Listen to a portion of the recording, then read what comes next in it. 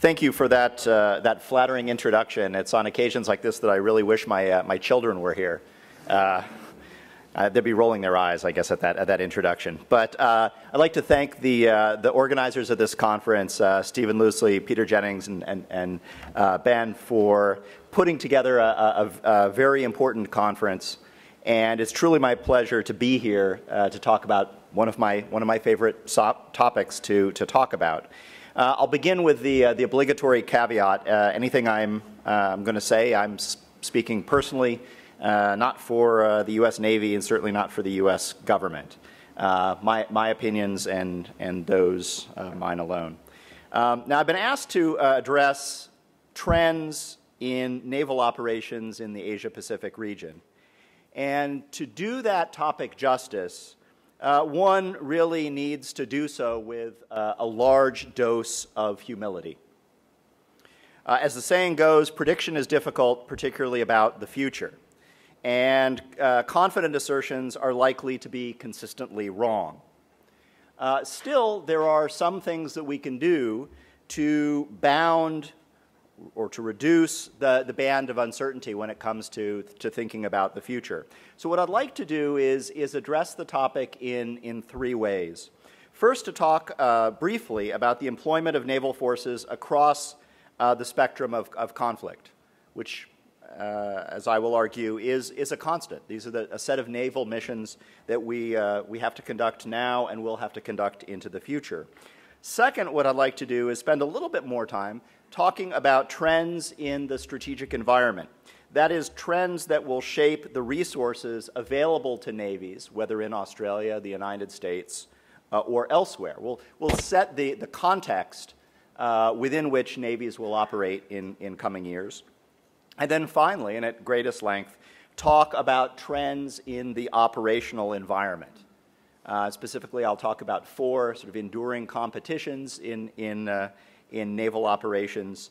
Uh, but again, uh, in line with my, my earlier injunction for a need for humility, uh, I'll, I'll talk about some particular wild cards, some particular changes that we might see in those, in those trends in the out years. So let me start uh, first uh, by talking for a few minutes about the spectrum of missions for which uh, naval forces are used. And here I'll echo some of the things that the Chief of Navy said before, before the break. It's a basic point, but nonetheless one that bears repeating, that naval forces are used across the spectrum of, of conflict. They're used for presence, they're used to shape the behavior of, of competitors, they're used to deter conflict and to reassure uh, allies and friends. And then, you know, their, their ultima ratio, the ultimate reason for existing is, is fighting and winning wars at sea. Um, the point here is that these missions uh, require or, or, or lead to a value for different attributes of naval forces. When it comes to presence mission, well, visibility is key being there is key. Combat capability is not insignificant, but it's clearly, it's clearly secondary to visibly being on scene. When it comes to shaping the behavior of, of competitors, capability is uh, more important, and specifically demonstrating that capability uh, is more important. Moving on to deterrence and reassurance, um, again, capability is more important still whether it's adversaries who are being deterred, whether it's allies, friends who are being reassured, that, that, that, uh, that bedrock of credible combat capability is, is extremely important. And then, of course, when it comes to warfighting, combat capability is dominant. Uh, and to, really to the extent that visibility, presence, actually can be a, a, a, liability, right? You don't want your adversary to know where you are, you may not want your adversary to know where you are. So I mentioned this for, for two, two reasons.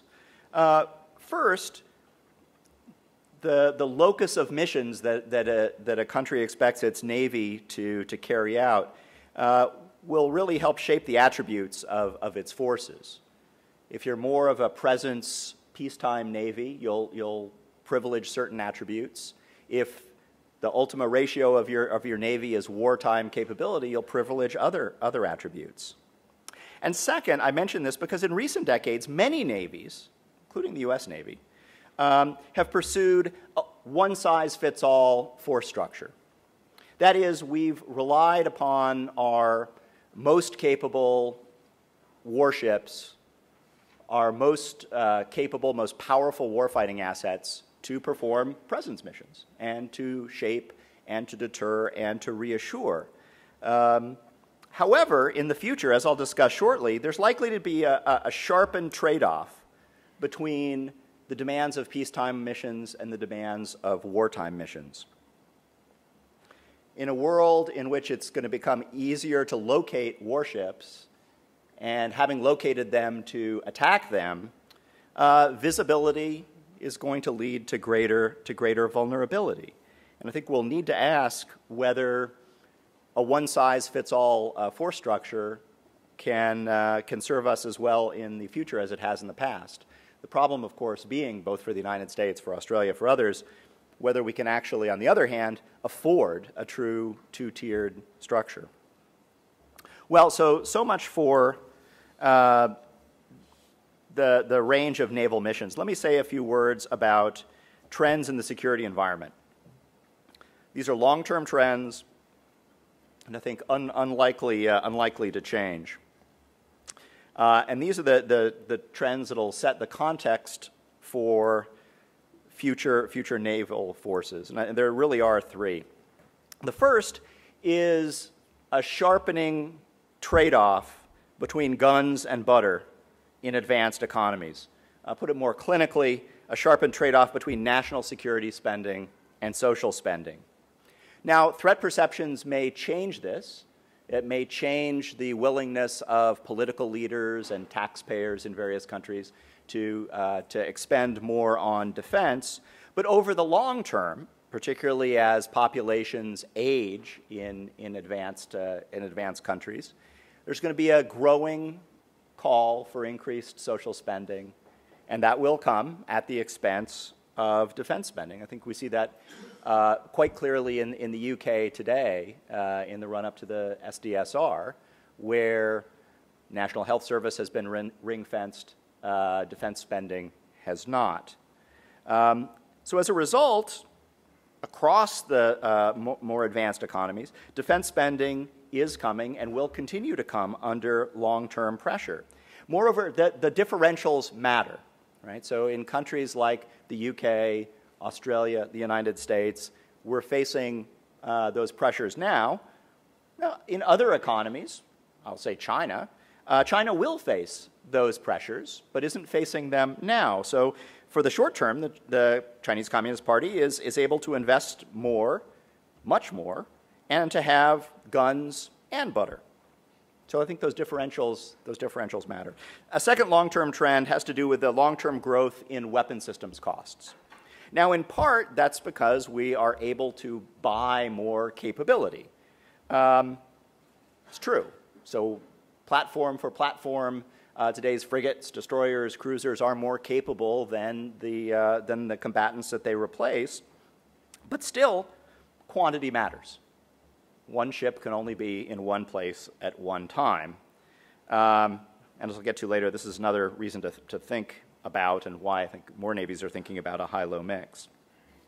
Third long term trend has to do with the growth in the cost of manpower. Again, there's an upside to it. The average soldier, sailor, airman uh, is more skilled than his or her predecessor but they're also much more expensive. The, the apt contrast that I would draw is from uh, recent US, uh, US history, where you, we could contrast the uh, Reagan defense buildup of the 1980s with the post 9 11 defense buildup. The Reagan defense buildup bought lots of hardware. The post 9 11 buildup was mainly consumed by manpower costs. So, if anything, the long term growth in platform costs, the long term uh, growth in manpower costs only multiply this squeeze uh, of, of, defense, of defense budgets. So, what does that mean? As a result, it means that navies are likely to shrink.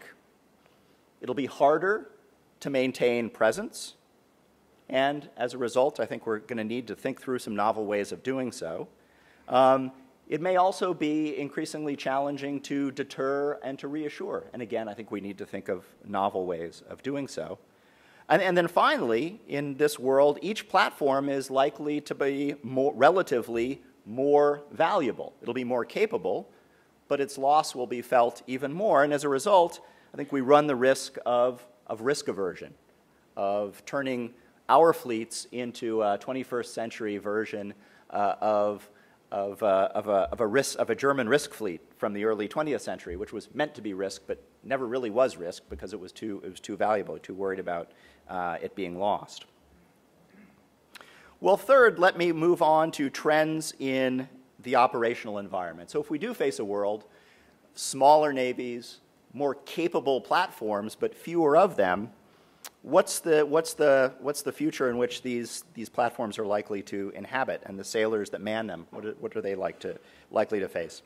Well, I'd like to talk about four sets of shifting balances offense versus defense, hider versus finder, networking versus counter networking, and uh, in, in fleet design, the trade off between the large and few versus small and many. Now, however, in line with my original injunction, uh, I would, as I go along, I want to apply uh, appropriate caveats. I'm not offering a prediction, let alone a, uh, a point prediction, but really trying to sketch out trends and then talk about how those trends may, may shift. So first, let's talk about offense versus defense. As Admiral Barrett uh, discussed, uh, at the tactical level at least, offense has traditionally been dominant at sea. And there are benefits to being the attacker. There are very clear benefits. Now, this trend is likely to only grow sharper in the future, uh, particularly as the result of the growth and spread of uh, intelligence, surveillance, and reconnaissance means and of precision strike systems. The, the premium for going first will, will only grow. As a result, naval combatants already face, but will continue to, to face even more in the future, an increasingly dangerous operational environment. Now, there are uh, potentially some wild cards that could change that. I'm thinking here of directed energy weapons uh, and railguns being two examples of potentially game changing defensive technologies. Now, I say potentially um, because directed energy uh, for, for military purposes has been sort of throughout my entire professional career, it's sort of been five years away. Just keep those five years keep getting walked out into the future. Now, I'm perfectly willing to admit that this may be different, that we may be at a, a point now where it really is only five, year, five years away. And if we have a meeting here in, uh, in 2020, I won't be saying it's five years away, I'll say it's here. Um, so it, we may be at a point where that changes, uh, where that's about to change. But design choices that navies make now and in the near future, uh, particularly when it comes to uh, naval power plants, will either lock them into or potentially lock them out of some of these game changing uh, technologies. So I think this is an area where, where uh, short-term bets will either pay off or may actually just go, uh, uh, go, go awry. But it's at least possible to see uh, a future where the defense uh, is more dominant at sea than it has been in the past. Otherwise, much, much, much greater offensive, offensive dominance. Second competition, that between hider and finder. One of the reasons why the operational environment is becoming increasingly tough is a shift in the hider-finder balance. Traditionally, you know, it was hard to find ships at sea. That's why most, uh, uh, most major naval battles were conducted in close proximity to, to the coast. Um, however, modern sensor technology is shifting the balance increasingly towards the ability to find naval combatants. It's becoming increasingly easier to find ships at sea than in the past. Uh, and it is relatively easier to find ships than, than submarines. Now, not that these are uh, absolutes, right? It's not as if it, it uh, it'll become uh, easy to, to locate warships, particularly warships that don't want to be found. Uh, but it will be relatively, uh, relatively easier. And as a result, surface forces will face an increasingly challenging environment, um, particularly when one couples the, the uh, technology to find with the technology to strike. So ISR and precision, precision strike. Now, of course, modern navies are doing a number of things to reduce their ability to be found. Uh, for example, the large-scale incorporation of low observable features uh, in uh, surface ship design. But still, and this takes me back to the, to the first set of considerations about naval, naval missions, across many missions, across many parts of the spectrum of conflicts, many times you want to be seen. You need to be seen in order to demonstrate presence, in order to deter. It's hard to exert presence, to deter, to reassure, without being seen. Conversely, at other times, such as combat, you don't want to be seen. Um, and so this highlights the enduring relevance of deception and signature management. And here we should ask whether we, and I mean we to be inclusive uh, of, of, of, all, the, uh, all the countries represented in, in this room and more, we should ask whether we've done all that we should do and all that we can do to hone these skills and maintain these skills, which are, after all, uh, perishable. Moving on to the third area of networking versus counter networking. Networking has a long history in naval warfare, going back more than a century, uh, and it offers great advantages. It's probably not a coincidence that the two greatest exponents of network centric warfare in the United States, Admiral uh, William Owens and Vice Admiral Arthur Cebrowski, well, we're both admirals, we're both naval officers. Uh, today, however, we're seeing a real explosion uh, in networking and um, as, as Peter mentioned earlier, the, the benefits of, of networking for, for warfare. We're also witnessing the growing interdependence of different warfare domains. So, networking not only among naval combatants and naval forces, but between naval forces and, and other types of forces. To take just one example, some of the most talked about anti access threats that China poses come not from the People's Liberation Army Navy, but from the 2nd Artillery Corps. So thinking in terms of networks as opposed to platforms offers real promise and real benefits. But the power of networking uh, also creates its own vulnerabilities. Right? The very power of, of networking gives adversaries incentives to interrupt the links between sensors, deciders, and shooters. And this will be an ongoing competition and a, fe a, feature of naval operations for the foreseeable future, as navies seek to balance the gains of networking against the potential vulnerabilities of, of networking. How it proceeds will go a long way to determine uh, the future naval operational environment.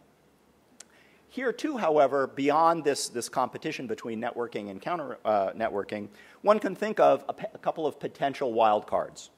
Uh, one is, one would be, uh, truly autonomous systems. And what I, what I mean by a truly autonomous system is a weapon that combines sensors, deciders, and weapons all on one independent uh, platform. And here, I think the barriers are both technical, uh, but also, and maybe critically, more importantly, cultural. I think, I think uh, the know how to develop autonomous systems is likely to spread faster than the systems themselves. Most of the barriers will be, will be cultural and, and perhaps legal and ethical uh, to, to, their employment. Uh, another potential wild card uh, along these lines would be the development of, of truly secure or truly resi uh, resilient networks. Um, that could take things in a very different uh, direction. Finally, uh, a final, a final uh, competition or trade off to talk about has to do with the trade off between the large and few when it comes to naval combatants versus the small and many. Traditionally, uh, you get what you pay for when it comes to naval combatants, and you pay by the ton. More capability, more tons, more dollars. Now, networking may, and I'll say may, change this. Um, however, as I noted a few, uh, few minutes ago, those networks are likely to be vulnerable. It gets back to this, this, this judgment call between relying on the network versus relying on the platform. And traditionally, navies have, uh, have, have thought about mitigating risk uh, through, uh, through a high-low mix, although we've tended to do less of that in recent years than, than, in, the, in, than in the past. So I think that, that, uh, that trade-off between the large and few and the small and many is likely, is likely to continue. And different navies are going to place their bets different, uh, differently. And we'll see over time uh, who's, made the good, uh, who's made the good bet and who's made the bad bet. So in conclusion, um, sea power has always been important, uh, but we are in an era and in a region where it is of increasing importance. Moreover, we're in an era and in a region where sea power will be increasingly contested. Now, it's the nature of, of, of navies and the, the nature of naval design that decisions we make today or in the new, near future will go a long way to determine the shape of navies for decades to come. I spend most of my time these days uh, teaching the next generation of, of leaders. And one of, the, uh, one of the exercises I like to do with them is a little, little exercise uh, that puts them in the position of the U.S. Navy's General Board in 1930 and asks them to come up with a, uh, the, the future U.S. Navy aircraft carrier fleet, which was supposed to uh, serve the Navy for the next 25 years, so until 1955.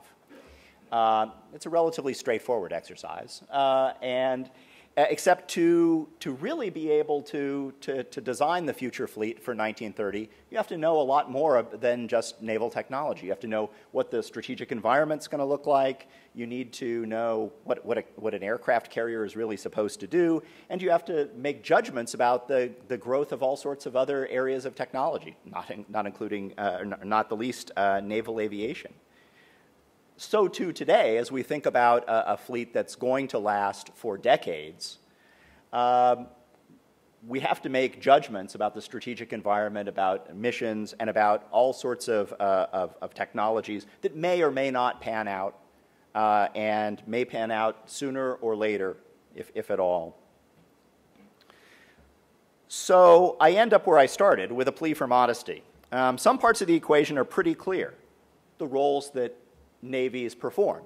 I think we can pretty confidently say that navies will continue to, to perform these missions in, in, in the future.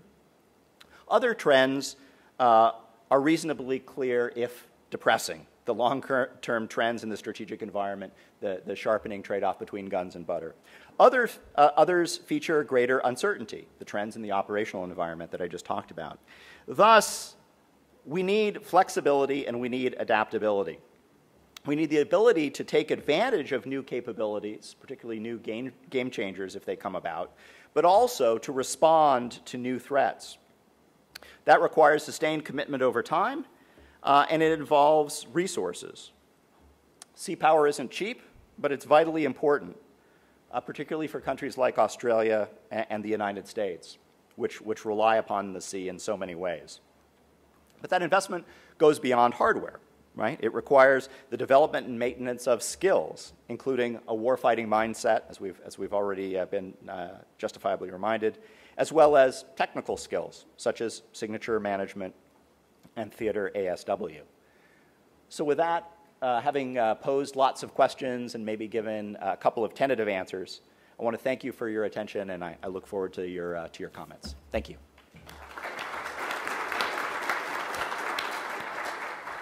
Thank you, Tom. Um, and now over to Andrew.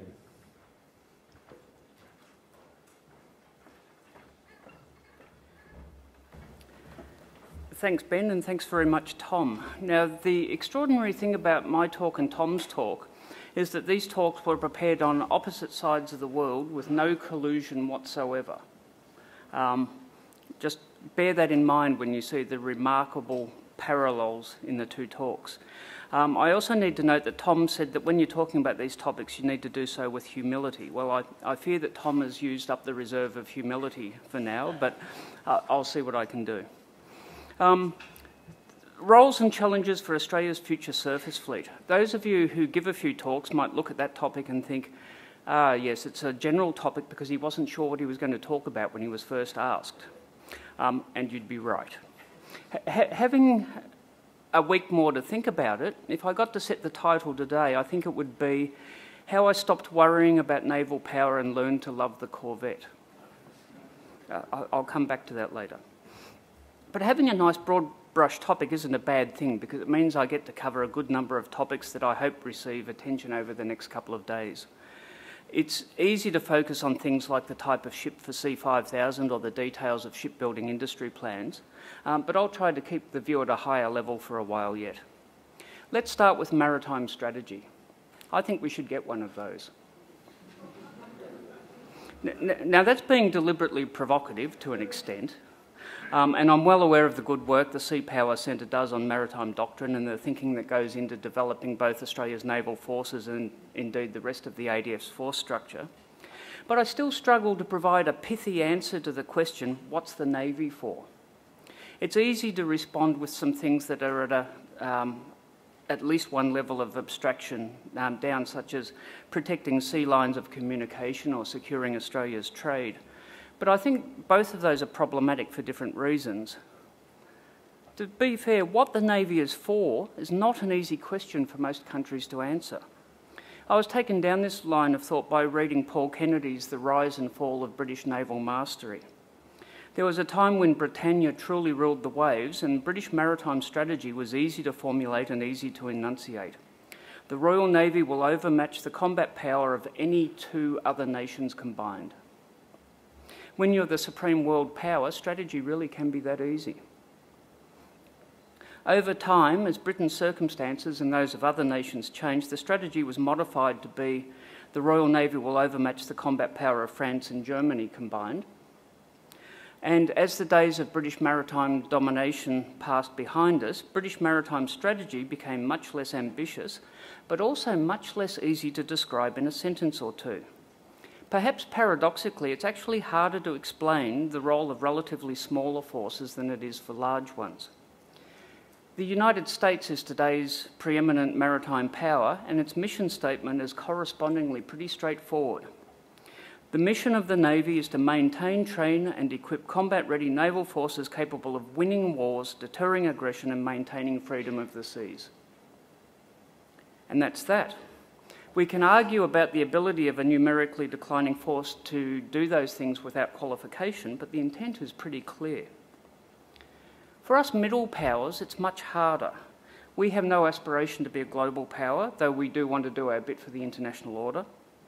We want to be combat ready and we want our forces to be able to fight and win, and we want to be able to deter aggression. But those last two can't be against all comers. As a result, we find ourselves having to formulate strategy in more nuanced ways. Now, a little bit of history is useful here. For a long time after World War II, we actually didn't have too much to worry about. We had to do some lifting in Vietnam and Korea, but that was very much in a support role in both instances. Then President Nixon made it easy for us by giving us what my colleague Mark Thomson has described as a get out of jail free card in the form of the Guam Doctrine. The result of that was defence of Australia, and that wasn't too challenging given the state of play of our near regional forces. We, in fact, came up with a local version of Britain's earlier global strategy by arguing that since intentions can change faster than capabilities, we will force structure to overmatch the forces of Southeast Asian countries. We didn't need a large number of surface warships or submarines to do that, so it was all good. With a relatively small fleet, we could maintain a capability edge over the neighbours and we didn't have to think too much about it. In a pretty secure region, or secure as far as the maritime dimension was concerned at any rate, and with low levels of capability everywhere we looked, capacity wasn't an issue, and a dozen surface combatants and half a dozen submarines was absolutely fine. I'm not sure that's the world we're in anymore. Thinking about it over the last few days, I came to um, suspect that the American rebalance to the Asia Pacific in many ways was a quiet unwriting of the Guam Doctrine. There's certainly an implicit, and occasionally it becomes explicit, expectation from Washington that its allies and partners out in our part of the world ought to do more. That means we need to start thinking explicitly about the implications of the alliance for our force structuring. That's an interesting chain of thought to pursue. That the USN's mission statement is one that befits a global power, but it means that allies such as Australia that see a substantial role for themselves have got to be able to participate in the top end of the winning wars and deterring aggression part of the mission. At last year's SIA conference in Fremantle, I gave a talk that unpicked, or at least as well as I could, what I saw of the roles for the future submarine. I ended up concluding that the capable, long range future submarine that seems to be in the offing makes best sense in an alliance context. Now I'm starting to think that that's actually true for the Navy's top end capabilities, and in fact, the top end capabilities of the ADF more broadly. That's got some pretty significant implications for the capability levels of the future fleet. Going up market like that means that we'll be going up the unit cost curve as well, and Tom's just described how that works. If we want to be able to take part in war fighting at a distance in hotly contested spaces, we'll need ships that are large enough to have high endurance, high survivability, and carry all of the defensive systems that make them survivable in that space. I'll come back to that point in a moment because I think that's a qualified statement. And we need enough offensive weapon systems to make them worth having along in a fight. At the same time, we'll still need the local capability to do all of the constabulary work the Navy is tasked with and to be able to put together a task group if we need to do a Timor, again at short notice. The United States isn't as invested in Australia's local region as we are, nor can we count on other security partners such as Japan. New Zealand is willing, but the force structure is weak. So we need to be able to do it alone in our own backyard if we need, if we need to, and we need to be able to do that, do all of those things within the budget that's available. That's starting to sound to me a bit like a two-tier navy, or as Tom described as a high-low high-low mix. One that has some serious combat power to provide in an alliance framework further afield, while operating a lighter force closer to home. And I think I have a mission statement to go with that. The mission of the Royal Australian Navy is to raise, train and sustain combat-ready naval forces capable of helping our allies to win wars, deter aggression and maintain freedom of the seas, while maintaining the independent capability to maintain order and support other ADF force elements in our local region. The words could be improved. It's not exactly going to fit on a bumper sticker, but you get the idea. Okay, that, that's actually a difficult trick to pull off, although I think the bones of it are actually already there in the Defence Capability Plan in terms of the future frigate and future submarine projects, both of which seem to be heading towards that upmarket um, alliance warfighting capability, and the offshore patrol vessels and the patrol boats in Project SEA 1180 and 1179. If we're smart, that will give us exactly the Navy that I've just described, but I think there's a significant risk that the top end requirements will put so much stress on the resource bucket that the OPVs might well end up taking one for the team. Let me digress for a moment and talk about why I think we need to be careful in defining the requirements for the future frigates. I've written before that the best predictor for the future ADF force structure is the current one. And that's probably most true of Navy. I, I think Navy is well, arguably the service most influenced by tradition and by its existing force structure. As far as the frigates go, my bets are on a requirement for the same number of frigates, just bigger and better, and thus more expensive. We're in the process of paying too much for three DDGs at the moment, and there's serious talk of frigates that are at least as large and even more capable, and that's not even the top end of the aspirations. I've, I've heard some pretty big numbers in terms of the, the size of the future frigates. If we want to be able to contribute meaningfully to an allied task group, that's probably what we need to be doing. That, that's where the trends are for high-end warfighting. But do we really need 11 of the Navy's major surface combatants at that level of capability? Or might it be better to acquire fewer top-end ships and put some more money into a larger fleet of smaller vessels that are nonetheless extremely useful in the activities that Navy will be doing at all of those times when major naval conflict isn't happening? Lots of money on big and very capable ships is very much an egg and baskets proposition. I'm not even convinced that the future prospects for large ships are all that bright. And Tom touched on some of these issues. But let, let me reprise something I wrote a few months ago, and I know that there are people in this room who disagree with that, and that, that's fine.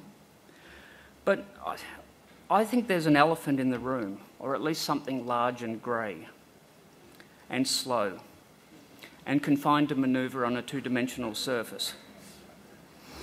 surface. That's all in contrast to the growing number of systems designed to visit harm upon ships, which are small, fast, and able to manoeuvre in three dimensions. History shows us that the battle between shipborne defensive systems and attackers has waxed and waned over the decades, but my intuition, and it's really not much more than an intuition, is that the fundamentals make it increasingly hard for surface vessels to win the battle in the long run. Making ships larger and giving them more power and real estate for defensive weapons can't hurt because more capability is always more capability. But they might still end up being on the wrong end of physics. And even if that's not right, the cost of effective defences has to be taken into account.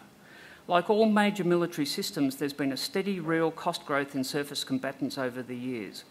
Depending on the ship type, the annual growth cost per tonne is around 2%. Okay, that's a real cost growth every year, 2%. The ships are also getting bigger for precisely the reasons I just mentioned. You need to give them the power and the real estate, which means that navies are getting a double whammy on unit costs. There's a real cost per tonne increase, and there's a real increase in the number of tonnes per vessel. The increasingly large number of increasingly expensive tonnes means that ships are rapidly growing in price and budgets aren't keeping up. Count the number of ships in the US Navy if you, if you doubt that proposition.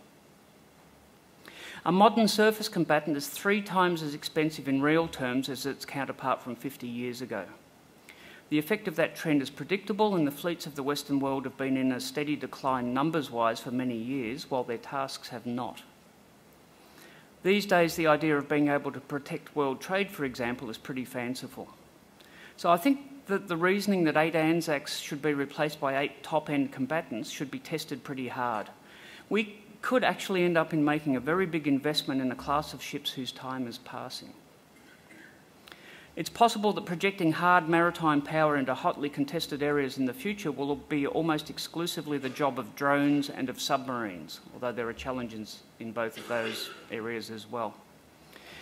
In any case, there'd be a substantial opportunity cost elsewhere in the naval or wider ADF force structure. Or history could repeat itself and the price tag of the top end capable future frigate could see Navy face a trade off between numbers and capability again. And I'll just remind you that last time around that gave us fitted for but not with. One of the problems, of course, is what to do instead. There's a lot to be said for bucking the trend of bigger and more powerfully armed warships and moving towards vessels that are designed for what I call less than World War III. That takes us back down the cost curve and allows, um, gives a chance to keep fleet numbers up. That's the sort of thinking, of course, that led the US Navy down the road of the littoral combat ship.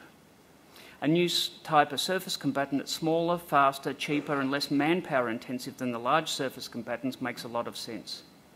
That idea is having some birthing pains, but I think it's a rational response to the budget challenges that modern navies face. As I said, I've come to love the Corvette, or at the very least, a less capable frigate. What we have to watch is the tendency to try to make the smaller ships as close to capable as the larger ones.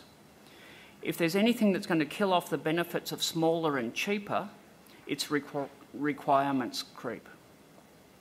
Adding more and more warfighting systems to the specifications will inevitably drive up the complexity and the price. But many ships, if you can afford to buy many ships, they can be in many different places at once. That makes them particularly useful constabulary, uh, for constabulary and border protection roles where presence in more places is a real bonus. But it also has application to warfighting roles like area ASW.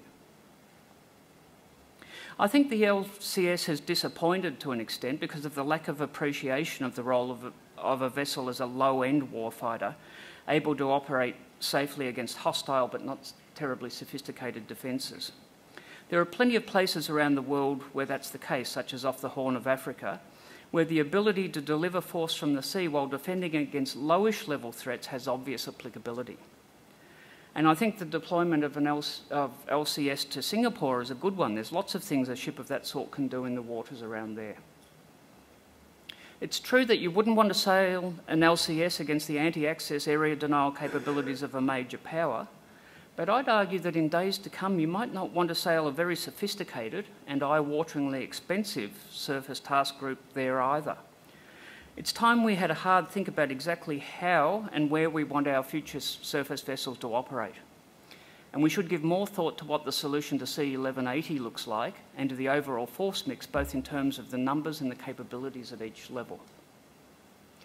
That's the force structuring side of the story, but that's only part of the challenges facing the Navy. Let me now turn to some of the other challenges they'll have in implementing that strategy or indeed any other strategy in the unlikely event that my visionary thinking isn't universally endorsed. It's possible. Let, us let, return again to the USN mission statement. It starts with maintaining, training and equipping combat-ready naval forces. It pains me to say it, but that's already a stretch. The Royal Australian Navy's record on raising, training and sustaining, to use the local parlance, has been patchy at best over the past decade or even a bit more. Well, let, let, let me be a bit more egalitarian than that.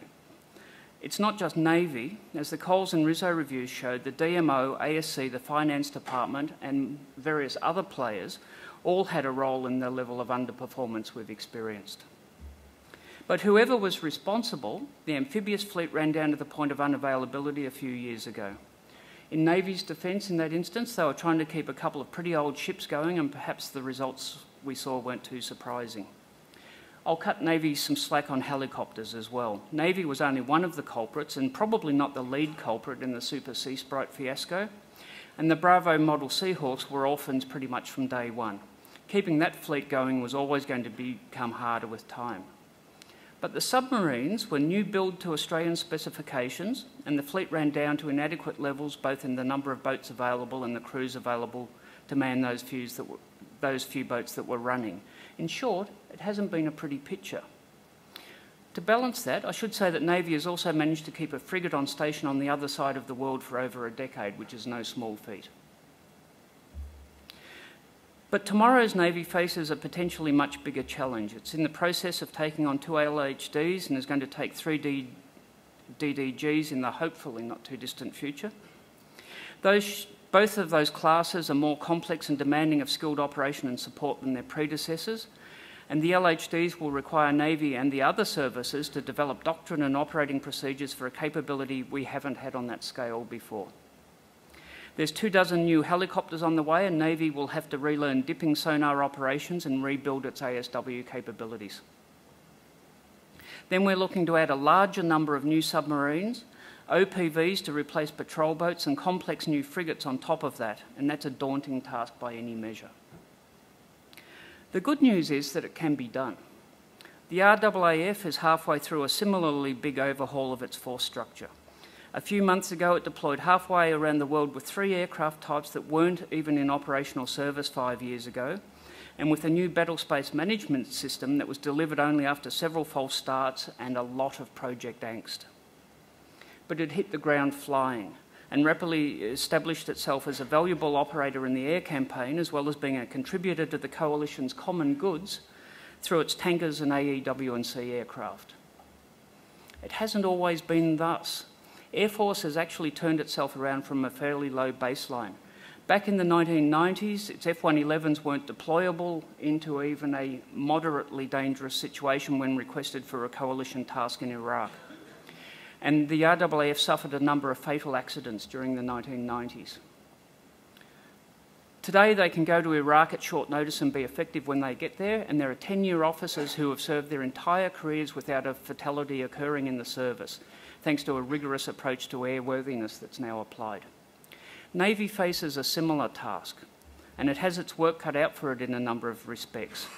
Firstly, it has to be able to recruit, train, and keep individuals with the right skills. We know from Rizzo that engineers are hard to keep, and uh, I think that's still the case. We know from Rowan Moffitt's work that submarine crewing is challenging, and there's been some improvement there, but progress is slow. We know from Coles that diffuse accountability throughout the submarine sustainment enterprise and a lack of appreciation of what it takes to be a parent navy, or in fact a parent country, led to a predictably bad outcome. I think that's improved significantly, although I think it's still far from perfect. So there's lots to do. The government's commitment to extra resourcing to defence should help, provided it's applied to all of the enablers of capability as well as to the new platforms that are coming along. I know this isn't news, and I know that Navy's hierarchy is seized with the challenge. We heard the Chief say as much this morning. I wish them the best of luck to go with their hard work and serious thinking. If they're to realise my post post Guam mission statement, they'll need to be at the top of their game. Thank you.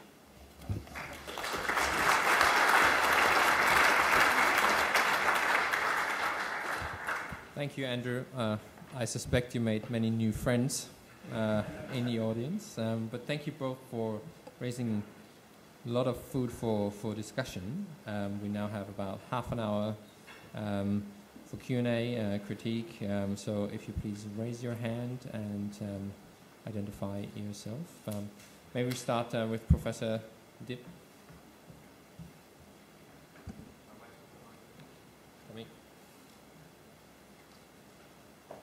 Paul Dibb, the Australian National University, they were two very stimulating and uh, provocative uh, thoughts.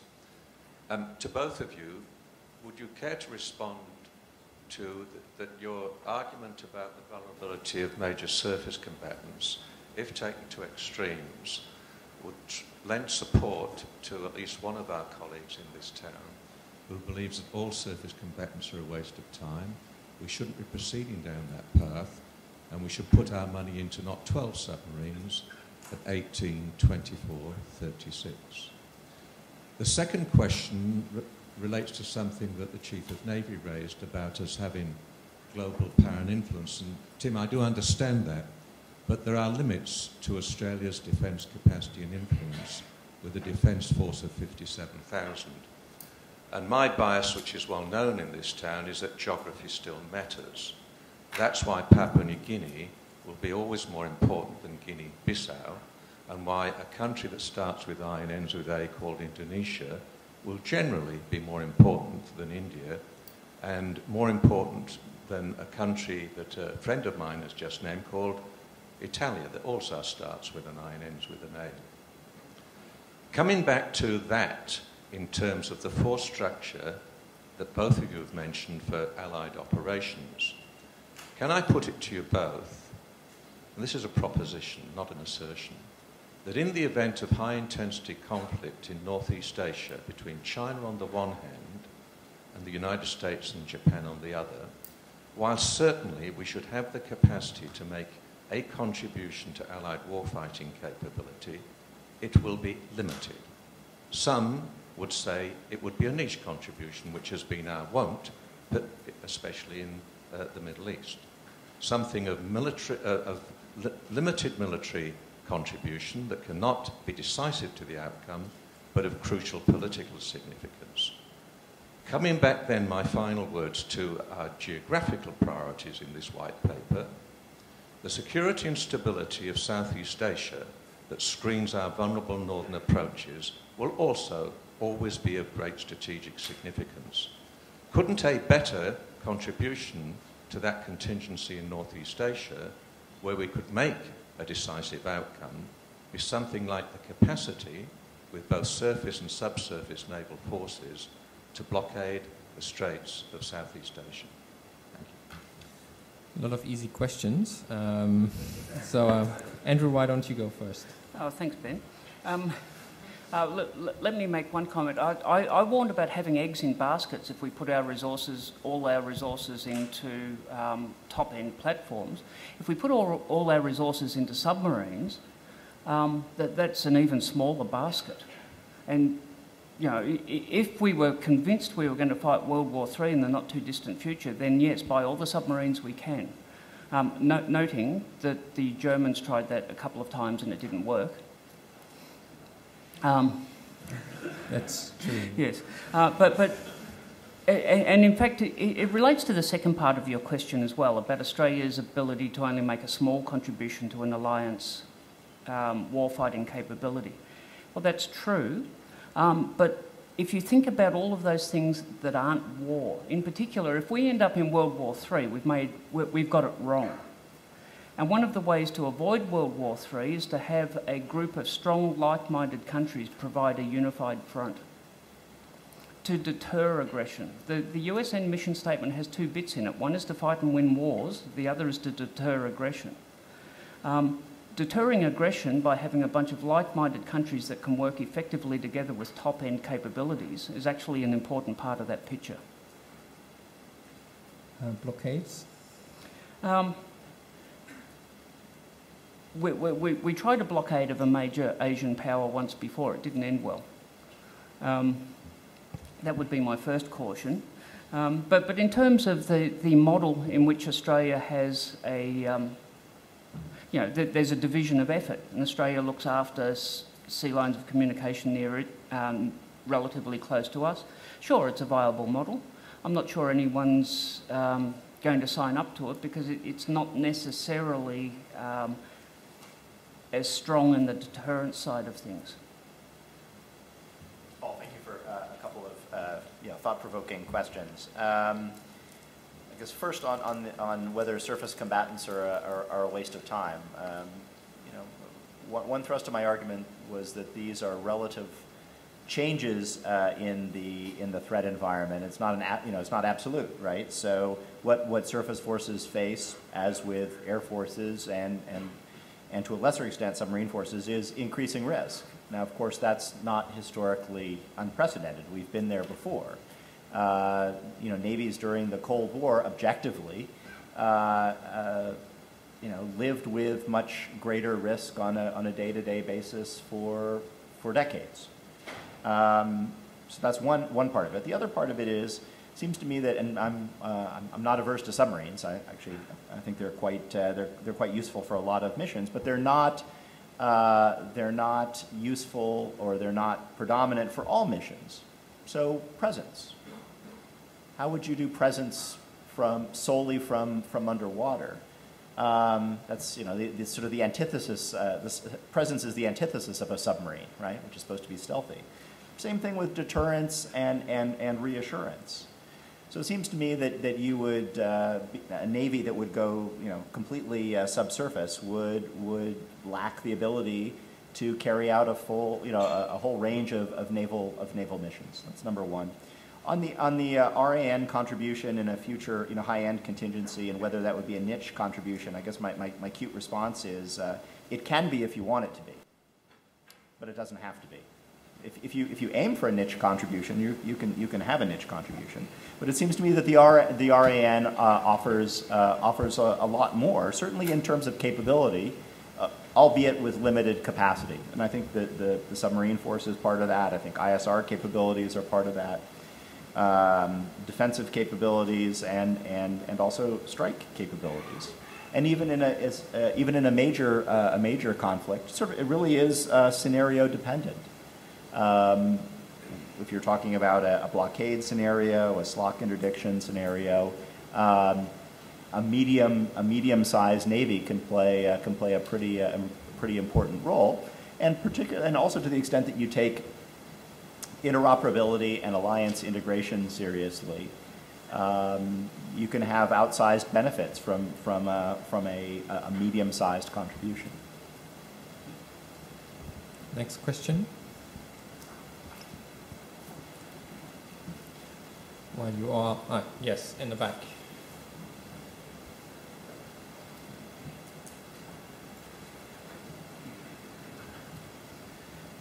Karl Claxton from ASPI just like uh, Andrew to talk about the implications of what he's saying for the LHDs. Uh, are the LHDs a high end or a low end, or should they be geared to be a low end capability to do another Timor, in your words? How, how much uh, lethality should they have, or how much amphibiosity should they have, to use your own question? The LHDs are ships that um, potentially provide a prodigious level of capability. I think the answer to the question is the LHDs will provide what we decide they will provide. Um, I, it comes back to the well-known critic around town who wants lots of submarines, who also thinks that the LHDs are a waste of a, a large amount of space. Um, I think he's absolutely wrong about that. I think the ability to take a lot of stuff and to darken the sky with helicopters when you get to the other end and seize and hold entry points is actually a wonderful capability that I can imagine Australia using in a range of circumstances. For me, the question is where up the level of opposition in terms of a, a, a lodgement do you want to be? Um, and that's, that's where the real capability question is about the amphibious capability more broadly. Um, the, the, ability to do, to, to use the old language, a service protected evacuation where there are uh, low levels of violence is absolutely something that Australia will need to be able to do and you can't guarantee to be able to use, you know, just sail, sail into a port and use harbour facilities to do that. So the LHDs bring a whole lot of positives. Um, how much higher up the ladder of, of opposition we want to go, I think, is the open question. Yeah, no, I mean, I'll, I'll uh, I won't address specifically the LHDs, but the, to the to the operational challenge of you know, of, of, amphibious warfare in, in a, in a high threat environment. I think we need to think about it not only in terms of the of the, the level of threat, but also we need to think about it temporally. Right? So even if, if even if some of these capabilities wouldn't be uh, valuable at the outset of a, of a high-end contingency, it's very easy to see how they could be used further on uh, in such a contingency as the as a, as a threat is degraded. Um, as with many things, I think it just comes comes to uh, professional judgments about how much you're going to invest in a, in a particular capability, the likelihood you're, you're, uh, you're willing to, or you're going to be able to use it, and, and under what circumstances. And I think that's a, you know, that's a type, the same type of calculation that's going on within the U.S. military as well. I'll, I'll just add a footnote to that. But one of the um, things that I find frustrating in capability debates is that you find people occasionally um, arguing themselves in a position where they're trying to argue that more capability is not more capability. You know, the, the LHDs manifestly increase the capability of the ADF to do to do stuff, and there's got to be got to be a positive um, in there. Any other question, Brendan?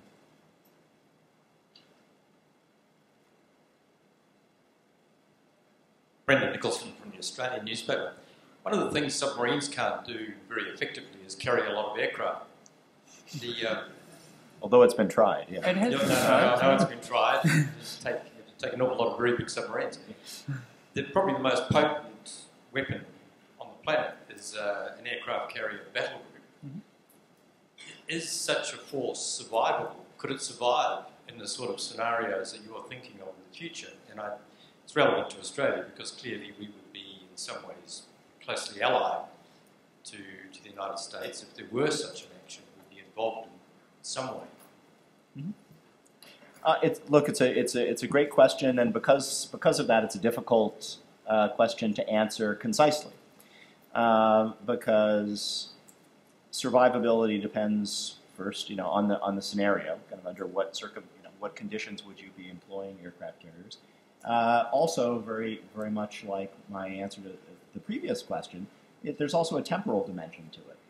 Um, you know, might you want to employ aircraft carriers at the at the very beginning of a, of a conflict when the you know when the threat is uh, before the threat's been uh, attrited and diminished? Maybe not. Um, so that's that's part of it uh, as well.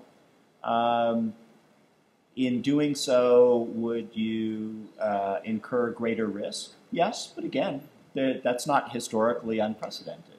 You know, I'm, I'm, the very, very proud son of a World War II veteran. That was, that was an era of great risk uh, when it came to carrier operations, when it came to amphibious operations, uh, all sorts of things. We, we bore that risk. Uh, and so it's not inconceivable that in a, you know, in a future circumstance we would, we would be um, any less willing to to bear that bear that risk uh, you know, in in the future. Um, but what does it you know, what does it call for? It, it calls for a certain a certain mindset, a certain innovative mindset, um, uh, attention to some of the things that uh, that I talked about in in, in my remarks, uh, thinking through defensive measures, deception. uh, signature management, all sorts of things like like that. Um, so just as I wouldn't I wouldn't count the uh, surface combatants out, I wouldn't count aircraft carriers out either. Um, they're likely to to play a, a, prominent role in the future, albeit perhaps a, a different role than we're uh, that we're used to uh, in the past or envisioning in the past. And should we have an Australian aircraft carrier? Um, I, I, think the short, well, Ben's just asked me if we should have an Australian aircraft carrier. Um, I think the answer to that is no, because I can't imagine a circumstance in which we'd want to do an operation that um, where an aircraft carrier would be necessary and we could deploy the number of forces independently um, to have a strategic effect.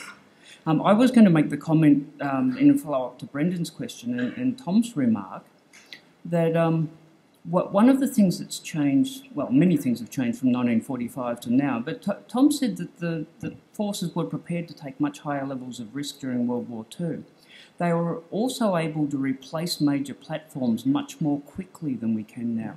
As these things have become much more complex and much more expensive, I think the United States could produce an aircraft carrier from, from keel to launch in under 12 months by 1945. Um, I think the build time these days would be four or five years minimum. So, so the idea of a war of attrition where you might take those levels of risk, I, I think are probably a thing of the past. If, I could actually two, two, uh, you know, two, two reclamas on this or two, two additions. Um, one, just to, to uh, echo uh, Andrew's point on, on industry.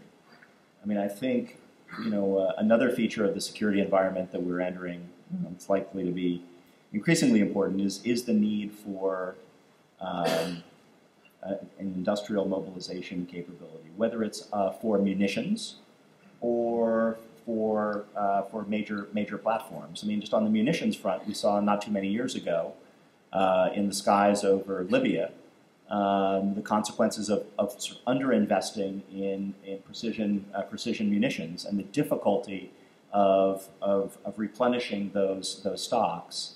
Uh, it's not difficult to imagine if, if, that was, if that was a Libya contingency. It's not difficult to imagine some of the problems that might occur in a, in a, in a larger scale, uh, larger scale contingency. Um, so I think that's a that's an excellent point. The second, just on, on the aircraft carriers, I, I, I, omitted sort of one of the most important parts of it, which is look in the end, and, and, and maybe I, I won't uh, maybe I won't survive uh, uh, this this panel or, or, getting out of the room. But but the, uh, the, look, the aircraft carrier is a truck. It's a vehicle that carries an air wing. And so, in thinking about the future of the aircraft carrier, the re- one of the real key questions is what's the composition of its air wing? Uh, how long range? How many you know? How many aircraft, whether they're manned or unmanned, what their capacity is? Uh, you know, the aircraft carrier, it's it's a CV. It's a carrier vehicle. It's, it's, it's meant to carry, uh, carry aircraft. And so if we're thinking about the future of the aircraft carrier, part of that discussion, a major part of that discussion needs to be what's the composition of the air wing. Peter.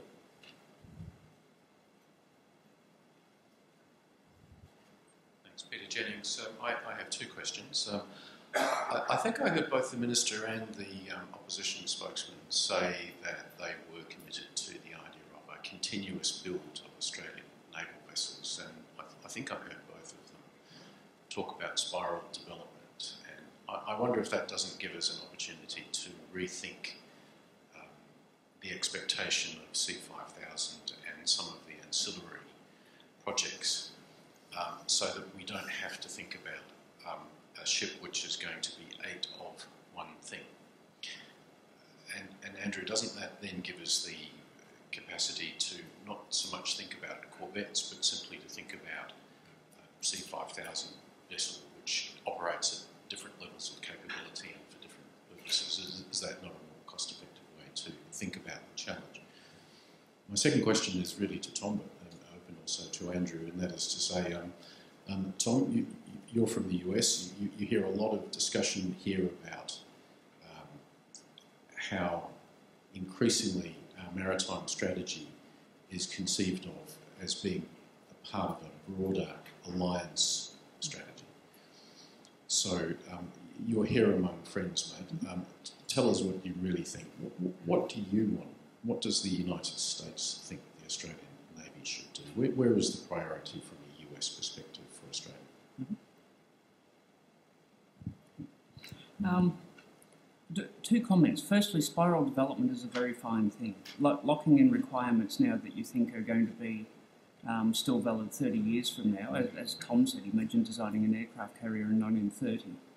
Um, so spiral development is a great thing. I'm not. I'm not sure that what I was talking about was having um, 6,000 ton ships that weren't very capable. If you're going to build a 6,000 ton ship, you might as well make it a pretty capable ship because you're paying for all that space anyway. What I was talking about was a high-low mix where you have large, you know, 6,000 ton or even more ships at the top end, but down the down the lower end, the, the low part of the high-low mix, you have ships that are maybe 1,000, 1,500 tons. And sure, do spiral development within each of those classes, but I don't think you're going to. I, I, I think building a 6,000 ton ship that does, does the sort of constabulary role that a 1,000 ton ship can do is probably not a cost effective way to do it. Well, fat, fat ships are a bit different. So uh, thank you for that. I mean, I would say um, as a uh, as a friend of Australia, but but uh, as an American, I would say um, I'd say th- three things. Um, first is um, interoperability. Uh, I think I think interoperability, particularly interoperability with uh, with the U.S. Navy, U.S. U.S. forces, uh, is important, and it's important for, for three reasons. And for, first, first and foremost, it's it's good for Australia.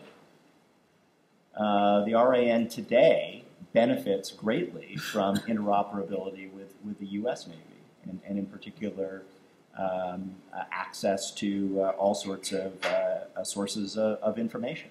That benefits the RAN whether it's operating uh, as, as part of an alliance with the United States, as part of a, a coalition of the willing, or, or, whether it's operating unilaterally. That's an absolute good for, for Australia. It's also good for the U.S it's good for the U.S. to, to have uh, allies that are that are highly interoperable with the U.S.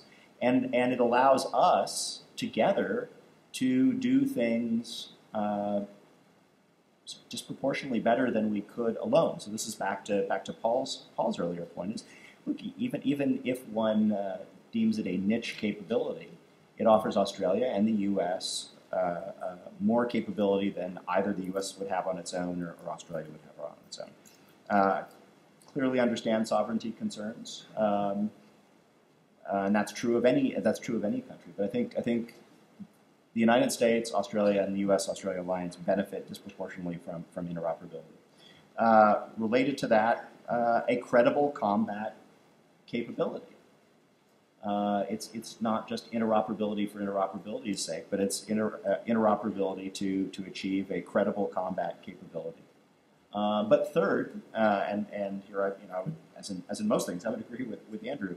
Um, also, the the constabulary uh, constabulary uh, capability, the ability to do things in a regional setting as well, I think, is something that that um, Americans respect and and Americans expect. Ability to to deal with things within this this region. Um, is, is, is a positive as well. So those are the three things that I would, uh, that I would highlight particularly. What, what, how would you define credible? Uh, I would I would say cred- well credibility as always is in the eye of the uh, the the, uh, the deterree, uh, right? So it's it's it's situational and it's uh, it's specific to you know particular uh, particular competitor or particular adversary. Uh, but that's you know that's real that's real combat capability, and uh, I would say you know the RAN has, has certainly accumulated a track record over the years of, of having credible combat capability. I just think that needs to be uh, nurtured as we go forward. Neil.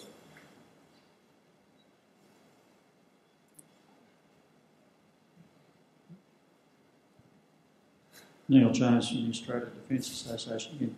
Um, look, I obviously enjoyed both talks, but I'm worried about we, we keep missing two important factors. And first, the lessons of history, and secondly, uh, the lessons of, uh, of politics. You know, if you look at the Armidales, and you look at the Anzacs, and if you look at the um, the attempt to extend the life of the FFGs, which are never designed to be extended.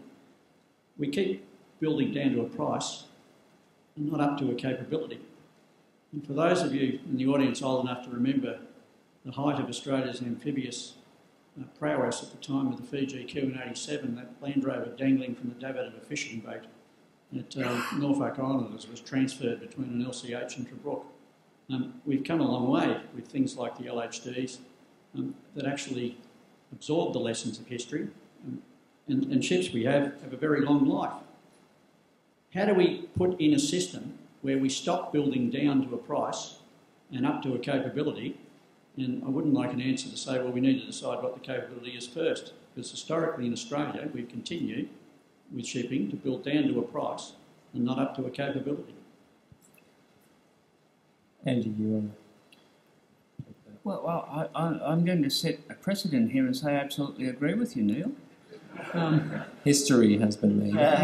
gentlemen. you saw it here first. Um, no, you're, you're absolutely right. And, and that's why I was saying before that if you want to build up to a capability with the future frigates, and that capability is, if we decide it's going to be a top end capability to um, do highest tier warfighting alongside the USN, then we need to bite the bullet and pay for that.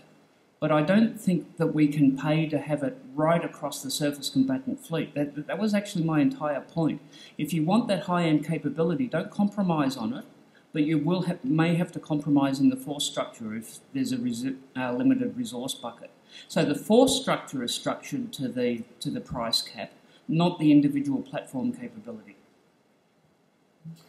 Yeah, I'd just say, I mean, look, I think it's a it's a general principle uh, the era that we live in now and are likely to live, you know, inhabit in, in, in coming decades. That uh, ships, other you know, other major uh, military articles, you know, will be in service longer than expected, and they will be uh, asked to accommodate new capabilities that weren't envisioned when they were laid down, and those new capabilities will add weight and will inhabit space and will create uh, create challenges, um, you know, weight and balance challenges going going forward. That that's that's the world we live in. Uh, we don't just scrap ships and, and build build brand new ones. So hence the need for flexibility. Now there are limits to, to that, right? There have been different attempts over the decades to build modular ships, LCS being a, a good example of that. And I think by and large, the true modularity just doesn't doesn't work. It doesn't work once once you've actually laid down a laid down a ship. So you need you know you need a, a, a, a less less ambitious approach to, to flexibility. You need to have adaptability. And so again, it goes back to you buy, you buy ships by the, the ton, you pay for them by the ton as well. Doug.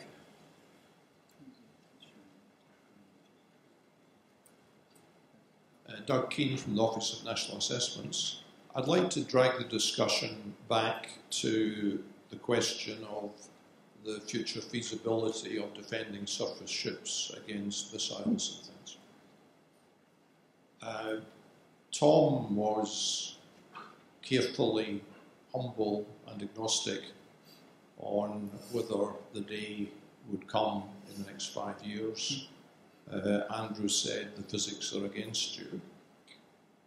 Uh, but there's certainly an increased frequency of optimistic statements being made. Uh, so there must be some arguments the other way.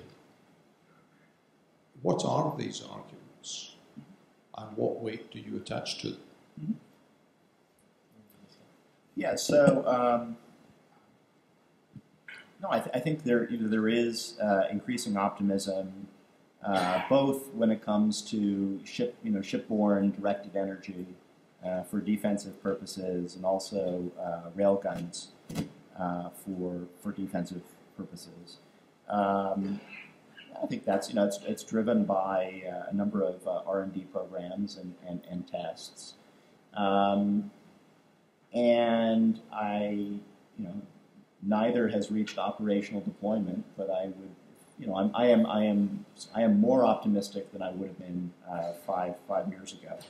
Now, of course, both you know both defensive systems will require require lots of power. So that's why I say um, decisions on on future surface combatants and their power plants uh, will lock you in or lock you out of, of some of these defensive capabilities. So what one is likely to see, you know, uh, are some, I guess I would say maybe some expedient deployments of these these capabilities, and you, know, you see that in the U.S. Navy essentially with you know test ships. Um, uh, and then over time, you're likely to see, if again, if the technologies pay pay off, then you're likely to see you know more purpose purpose built combatants. Uh, but again, I think it all really rises or falls based on the, the power plant. You know, um, now again, if if those technologies pay off, or if one of them pays off, yeah, you you could see. Um, you could see a real shift in the offense defense balance. You could see uh, ship self defense becoming a lot easier. You could see uh, sea based defense of close uh, land-based uh, targets uh, more effective. And certainly, if we go beyond just na- you know naval vessels, uh, land-based deployments of, of, of, these weapons, where power is much less of a concern, where you can tie into the tie into the grid, much more feasible. Um, you could actually see a you know a feasible, reliable defense against uh, ballistic and, and, cruise missiles. And that would be that would be a big a big thing.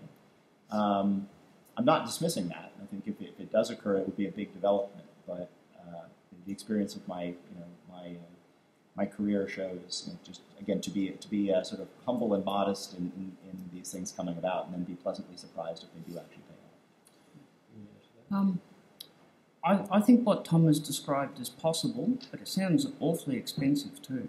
And, and the thing is that making a ship more defendable um, the, the more the threat uh, multiplies, both in terms of numbers and, and technologies. And remember that a, a, ship 20 years from now might be defending itself against a swarm of hypersonic incoming missiles.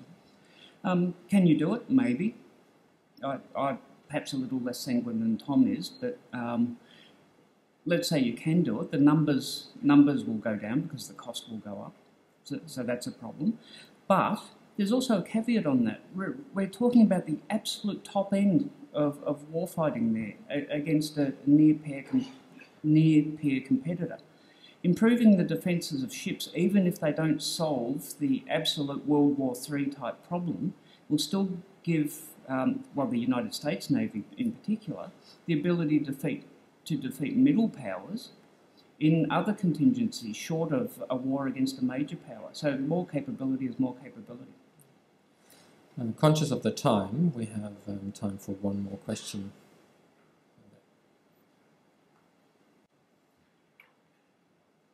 Thank you. Jacob Trager from CMAX Advisory. Um, my question goes back to the high-low two-tiered Navy. While the low-end capabilities may be good for some presence missions in constabulary and anti-piracy areas, it seems to me that other presence missions require capability and there's a big difference between sailing a couple of littoral combat ships into an area as opposed to an Aegis destroyer or a carrier battle group. In the Australian context, we might see that between a, a low end patrol vessel versus a high end frigate in the region, especially if other countries in the region, other regional powers, are projecting themselves more than has been the case in the recent past. So, if we did go down a high low two tiered Navy s- system would we, could we then see the erosion of our ability to credibly deter aggression? And could that see us lose influence and the ability to shape events in the Australian context in the region, but for the United States, possibly globally, because you don't have the same level of capability to put where you need it when you need it? Um, thanks, Jacob. Um, look, top end ships go down the task list much more effectively than um, low end ships go up the task list. No question about it. If you had the resources, um, you would have every fleet, uh, every ship in the fleet at the very highest level of capability. If money was no object, that's what you'd do. But money is an object. So you, there, there will be a compromise. You, you won't have 7,000 ton you know, railgun directed energy fitted frigates out there doing border protection duties. Well, if you do, it will be a, a ridiculously expensive way to do it. So, is it possible that one of those one of those smaller ships will run into a higher end ship that will cause it a world of hurt? Yes. Um, is it something that would cause you to restructure the navy entirely towards the top end? No.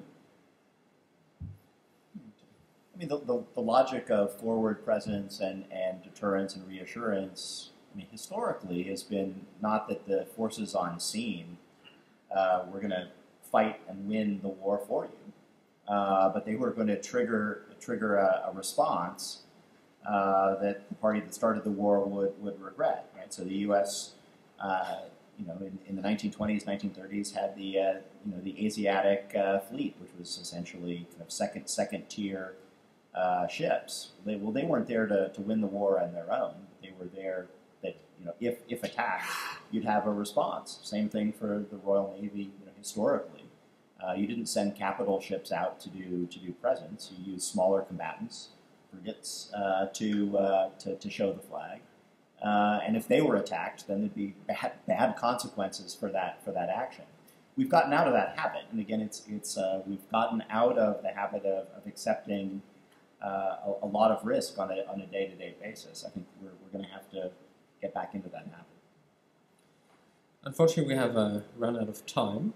Um, thank you both so much for a very stimulating presentation, and thanks everyone in the audience for participating. Um, we now lunch is served outside. Um, please be back uh, by uh, 1400, and can I please ask you to join me in thanking our both, both our panelists.